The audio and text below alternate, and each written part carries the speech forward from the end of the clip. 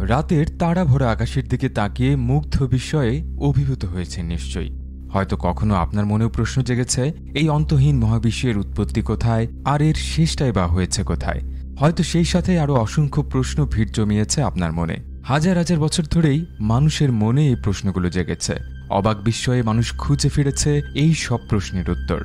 আর বিজ্ঞানের অগ্রগতির কল্যাণে সাম্প্রতিক বছরগুলোতে মানুষ জানতে পেরেছে এমন অনেক অধরা প্রশ্নেরই উত্তর। বিশেষ করে বিগত পঞ্চাশ বছরে মহাবিশ্ব সম্পর্কে যুগান্তকারী সব আবিষ্কার পাল্টে দিয়েছে আমাদের চিন্তার জগৎ। মানুষের চাঁদে পদার্পণ থেকে শুরু করে দুটি গ্যালাক্সির সংঘর্ষের ফলে সৃষ্ট গ্র্যাভিটেশনাল ওয়েভ শনাক্ত করা আমরা জানতে পেরেছি অনেক কিছুই। কিন্তু এই জানা আমাদের চোখে আঙুল দিয়ে যেন দেখিয়ে দিয়েছে, অন্তহীন এই মহাবিশ্ব সম্পর্কে আমাদের জ্ঞান কতটা ক্ষুদ্র। কোন পরিস্থিতিতে ঘটেছিল বিগ ব্যাং কিংবা এই মহাবিশ্বে মানুষের মতো আরও বুদ্ধিমান প্রাণীর অস্তিত্ব আছে কিনা, এমন আরও বহু রহস্যই এখনও রয়ে গেছে ব্যাখ্যাতীত এ যেন একটা প্রশ্নের উত্তর পেতে না পেতেই আরও হাজারটা প্রশ্ন হাজির হওয়া। তবে অজানাই মানুষকে ধাবিত করেছে নতুন নতুন সত্য উদ্ঘাটনে। প্রিয় দর্শক, চলুন তবে আর কথা না বাড়িয়ে আদ্যপান্তরিক পর্বে আপনাদের জানাব মহাবিশ্বের সবচেয়ে বড় তিনটি ব্যাখ্যাতীত রহস্যের কথা, যার উত্তর এখনও খুঁজে চলেছেন বিজ্ঞানীরা।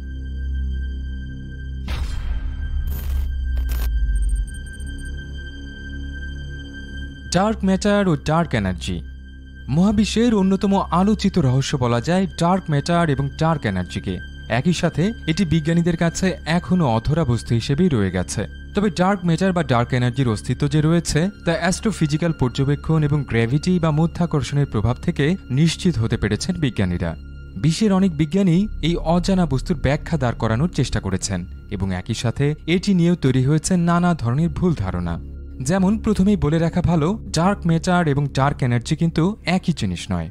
ডার্ক ম্যাটার বলতে সেই সব পদার্থকেই বোঝায় যেগুলো বর্তমান প্রযুক্তির সাহায্যে এখনও শনাক্ত করা সম্ভব হয়নি। এগুলোর মধ্যে এমন কিছু ব্যারিয়নিক ম্যাটার বা সাধারণ পদার্থ রয়েছে যেগুলো বিজ্ঞানীদের জন্য শনাক্ত করা দারুণ কঠিন। সেই সাথে রয়েছে নন ব্যারিয়নিক ম্যাটার এই পদার্থগুলো ব্যারিয়ন্স অর্থাৎ অ্যাটমিক পার্টিকেল বা পারমাণবিক কণা দিয়ে তৈরি হয় না।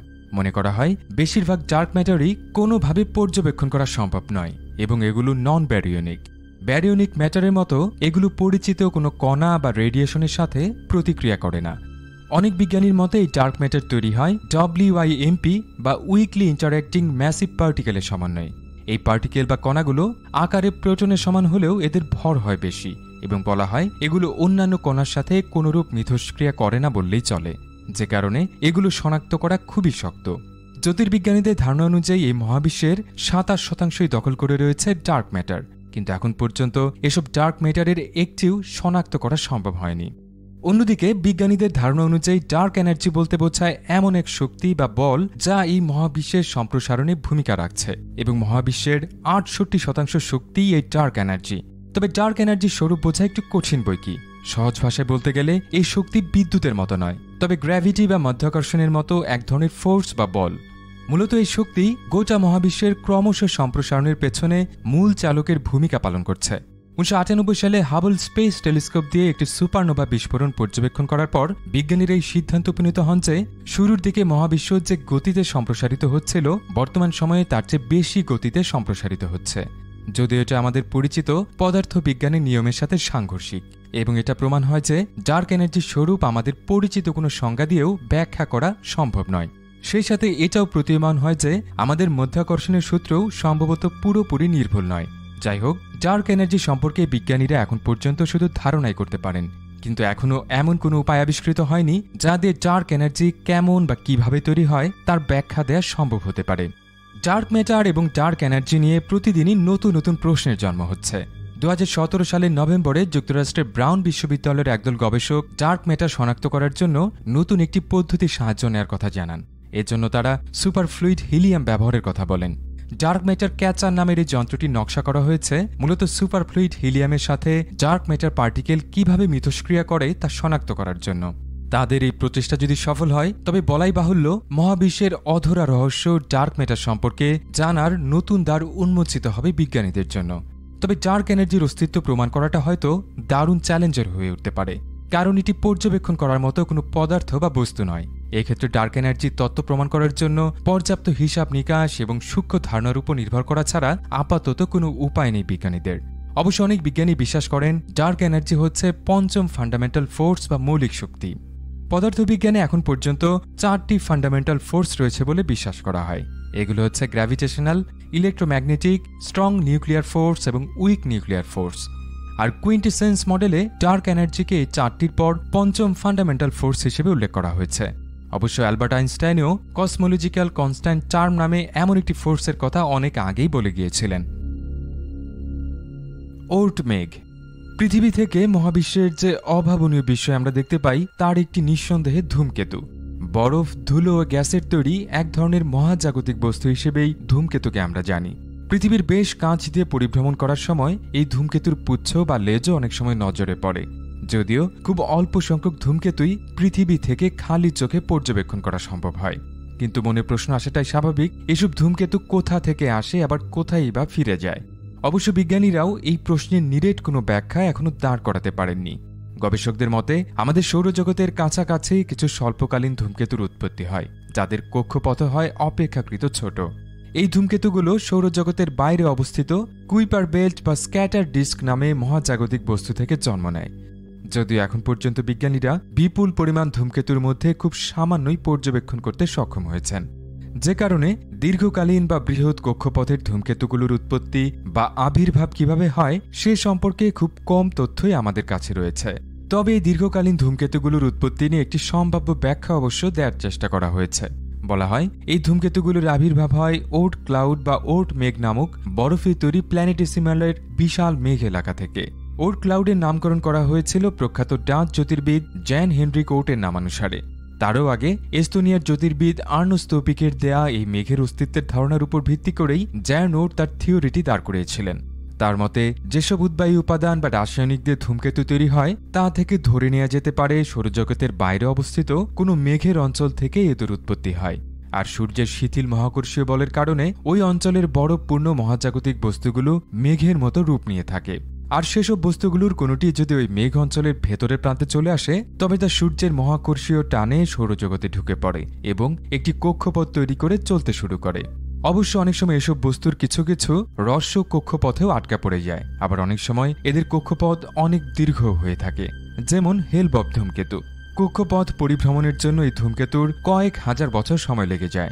মনে করা হয় এসব ধূমকেতুর মতো আরও বিলিয়ন বিলিয়ন মহাজাগতিক বস্তুর অস্তিত্ব রয়েছে ওট মেঘ অঞ্চলে। কিন্তু এই ওট মেঘের সৃষ্টি হয়েছে কীভাবে তা নিশ্চয় জানতে ইচ্ছা করছে আপনার?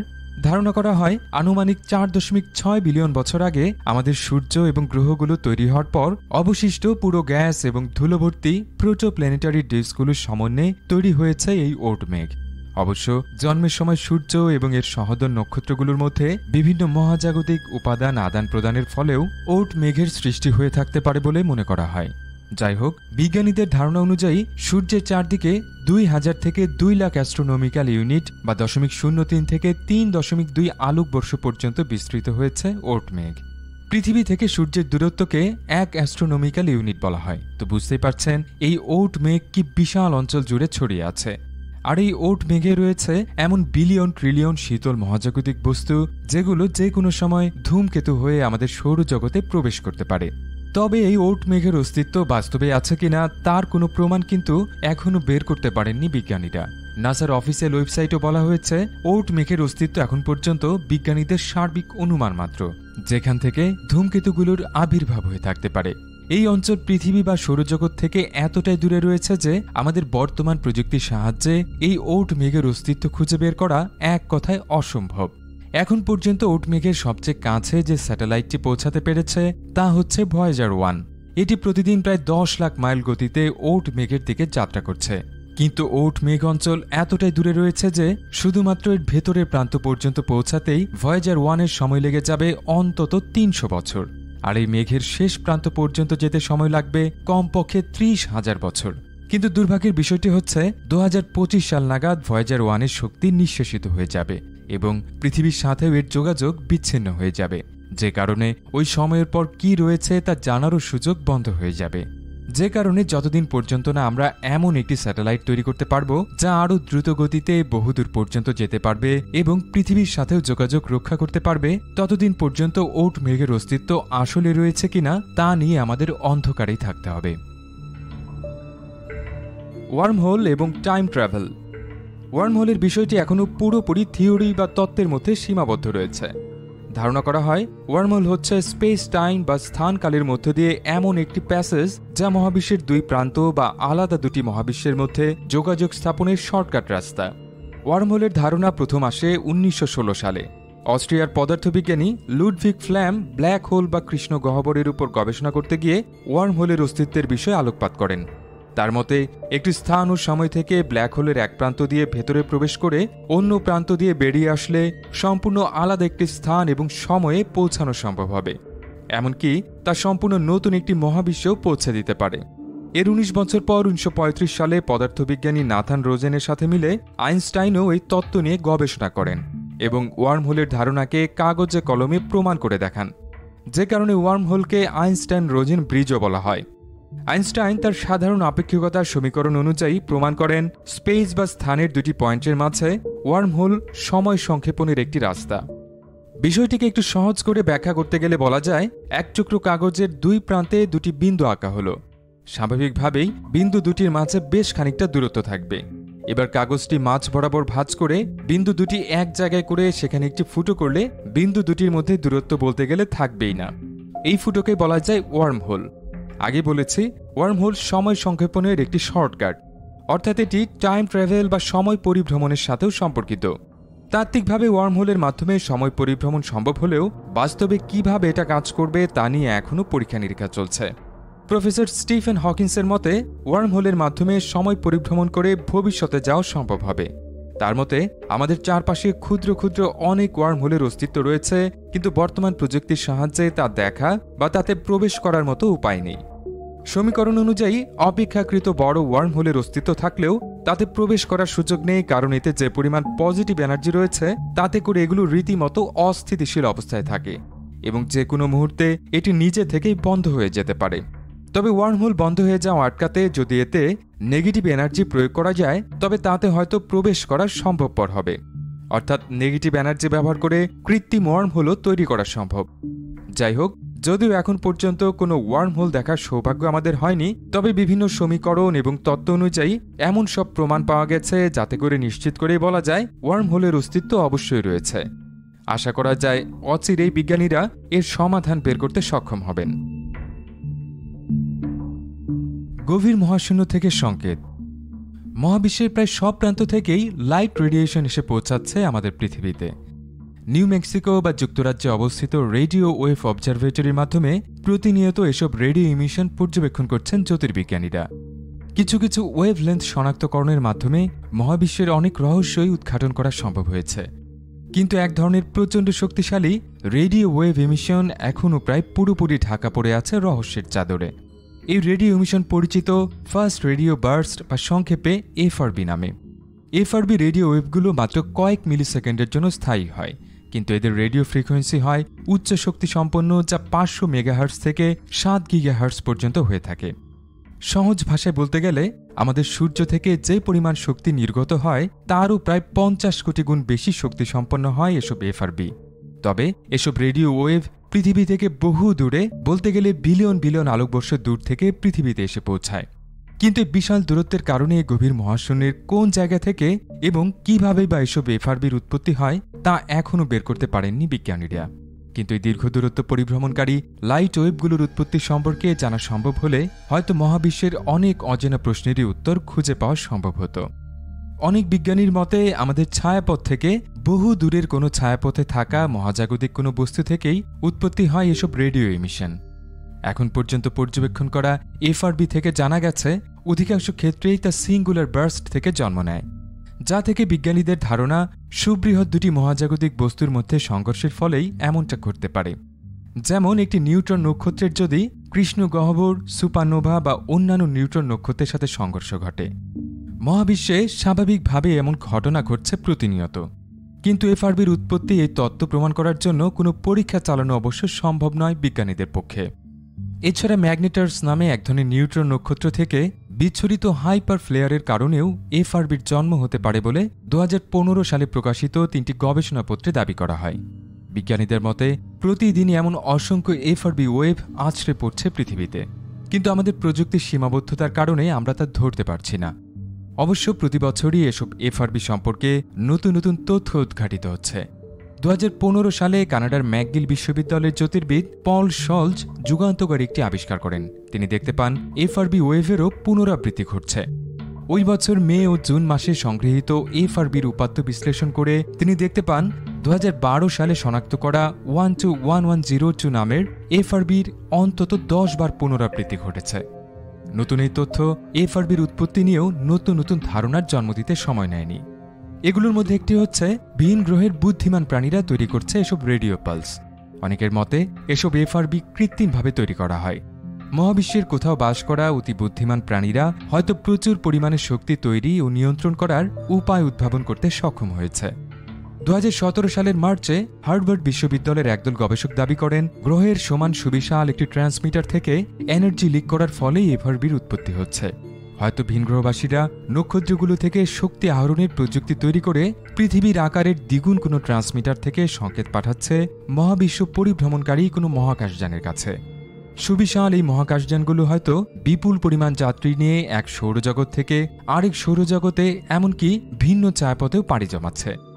যাই হোক বিজ্ঞানীরা যতদিন পর্যন্ত না এসব এফআরবির উৎপত্তির সত্যিকারের কারণটি খুঁজে বের করতে পারবে, ততদিন এই ব্যাখ্যাতীত রহস্যটি নিয়েও নানা ধরনের ধারণা তৈরি হবে যা আমাদের বিস্মিত দ্বিধান্বিত করবে। মহাবিশ্বের আওয়াজ। আপনি নিশ্চয়ই জানেন, পৃথিবীর বায়ুমণ্ডলের বাইরে শুরু হয়েছে মহাশূন্য। আর এখানে বাতাস না থাকায় শব্দ চলাচল করতে পারে না। এক কথায় মহাশূন্যে একটা থমথমে নিস্তব্ধতা বিরাজ করছে। কিন্তু বাস্তবে তা নয়। ইলেকট্রোম্যাগনেটিক ভাইব্রেশন বা তড়িৎ চুম্বকীয় কম্পনের মাধ্যমে মহাশূন্যেও শব্দ বা আওয়াজ চলাচল করতে পারে। আমাদের কান্দে তা অবশ্যই শোনা যায় না। কিন্তু নাসা এমন কিছু যন্ত্র তৈরি করেছে যা দিয়ে এসব তড়িৎ চুম্বকীয় কম্পন রেকর্ড করে আমাদের শোনার উপযোগী আওয়াজে পরিবর্তন করে দিতে পারে। নাসা রেকর্ড করা মহাবিশ্বের এমনই কিছু আওয়াজ শোনাবো আপনাদের। আমাদের বিশ্বাস এই আওয়াজগুলো আপনাকে অবশ্যই রোমাঞ্চিত করবে।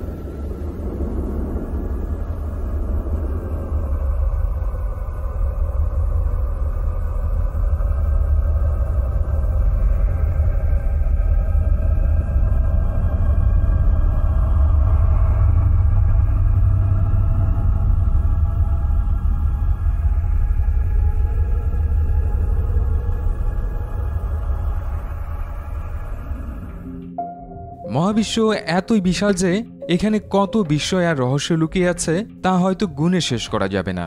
তারপরও রাতের তাড়াভরা আকাশের দিকে তাকিয়ে এক অদম্য কৌতূহলে আপনারও নিশ্চয় জানতে ইচ্ছা করে, মনে যত প্রশ্ন আসে তার সব উত্তর।